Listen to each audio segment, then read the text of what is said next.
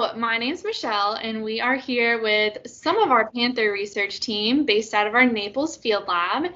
And we have Caitlin, Mark, and Brian here, and we're going to learn about Panther research, what it means for the state of Florida, and these important species. Hi, Mark, how are you? I'm good. How about yourself? I'm good. I'm Mark Criffield. My official title is uh, Assistant Research Scientist. Um, I work on the Panther team and I lead the uh, Panther captures. I'm Brian Kelly. I'm a OPS wildlife technician with FWRI. I'm involved in all aspects of panther research and management, but specifically researching panthers north of the Caloosahatchee River in central Florida. Hi, I'm Caitlin Kupar. I am also an OPS wildlife technician working for FWRI. I also take part in all aspects of panther research that we have going on down here, but right now my main focus is doing monitoring and collecting data for FLM, which is feline leukomyelopathy, and it's the disorder affecting panthers and bobcats in Florida. So, Mark, tell us a little bit about the Panther Research Program in general. Well, uh, panthers, as most folks know, are a uh, endangered species um, protected by federal and state laws. Uh, so, as a partnership between federal and state agencies, you know, the, the Panther team was formed um, and has been conducting research for almost 40 years now. So, it's been a long term continuous study that has been going on for a while, and we've seen the Panther population really increase significantly over about the last last 15 to 20 years. So we've really been fairly successful in what we've been doing so far. So I know you guys are doing a lot of important work to monitor the health of Florida panthers, including studying a recent event about a neurological disorder that's impacting both panthers and bobcats. We'd like to hear a little bit about that. How are you how are you guys monitoring it, Caitlin? One of the ways we do um, our non-invasive monitoring for panthers is use of cameras. So FWC has cameras placed throughout South Florida that we're actively monitoring, um, some on photo, some on video. And eventually, cameras has led us to discover this new disease, which we call FLM, which is short for feline leukomyelopathy. FLM is a neurological disorder that is causing rear end weakness in bobcats and panthers. So basically we discovered this in 2018 was our first known occurrence, but we thought it could have just been a localized individual. And we have now in 2020 determined that it's a little farther spread than that. Thankfully for citizen scientists, we receive videos and photos from all over the state. And this really helps us as the Panther research team be able to go over this data, see where this disease is occurring and the severity.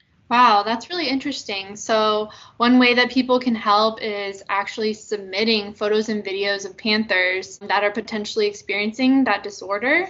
Yes, that's super helpful to us. You know, we can only do so much as a research team, but with the invention of ring cameras, people having trail cameras in their backyards, hunters having their own game cameras, all that information is important to us to not only see unhealthy animals, but the spread of healthy animals too. Exactly. How many panthers do we know of that are impacted by this disorder? Since they're endangered, people are worried about Florida panthers. Is it a lot? Are there not that many? Right now, it's unknown how many animals are affected by this condition.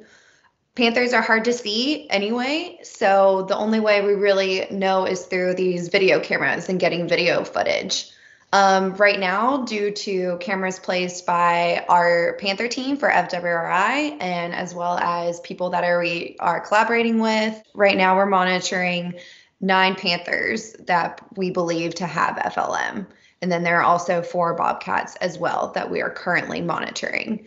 But as a population whole, there's no way to tell exactly how many there are that are affected. Brian, I know you're involved with researching this disorder too. Can you tell us a little bit about your role in the project? I specialize in research in panthers um, that occur outside of their known breeding range in South Florida.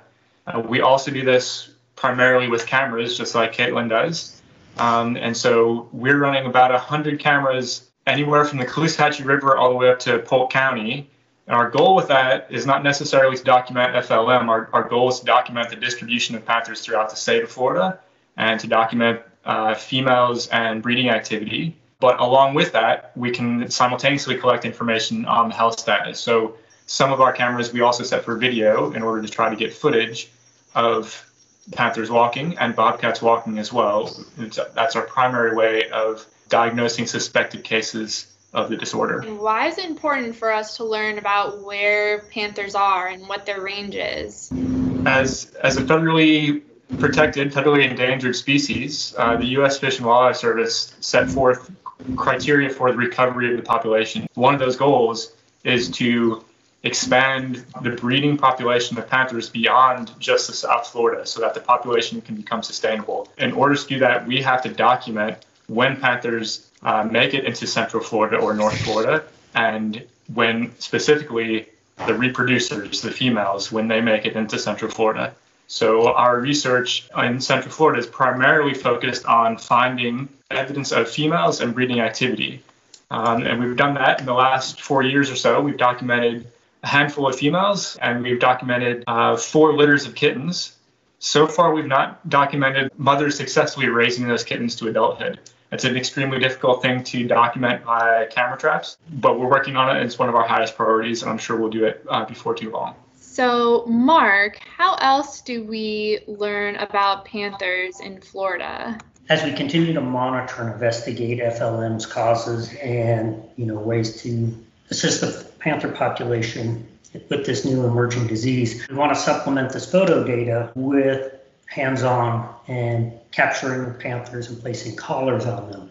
Um, as we already mentioned, panthers are endangered, and we currently estimate that there is a uh, is 120 to 230 on the landscape. So there's not very many out there. You all use collars to track panthers and learn about their movements and behaviors. How do you collar a panther? The uh, main component of capturing a panther is the use of trained hounds. We have a, uh, houndsman who works with the state as well. Uh, so if we're lucky that morning, uh, they'll pick up the fresh scent of a, of a panther and start to trail it. As the dogs get closer to the panther, the panther will go up the tree. Uh, once we have the panther in the tree, we'll all come in and assess it, make sure that it's safe to conduct that capture. And if we all determine that it's it's a safe and easy capture to do, we'll immobilize the panther, giving it immobilization drugs with a dart.